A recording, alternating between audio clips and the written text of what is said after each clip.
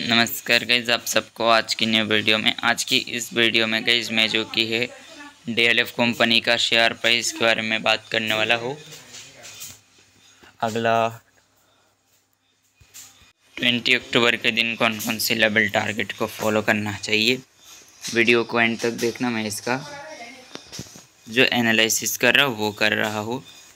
Daily chart पे तो यहाँ से देखो, ये गए स्टॉक डाउन फिर ऊपर, फिर डाउन फिर ऊपर जा रहा है। तो यहाँ तक जाके स्टॉक काफ़ी तेज़ी, तेज़ी से वापस डाउन जा सकता है।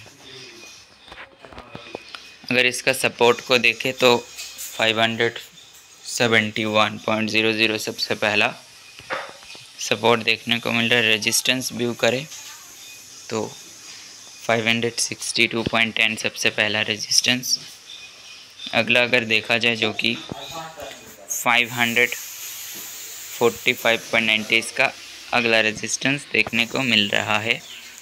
तो यहाँ से देखो लोअर लो लोअर हाई जैसे बना रहे तो यहाँ से अभी स्टॉक और भी थोड़ा बहुत ऊपर जाने का चांस काफ़ी हाई है। लेवल जितने भी देख रहे हो आप लोग, सारे लेवल्स ही काफ़ी इंपॉर्टेंट है तो लेवल पे फॉलो कर सकते हो।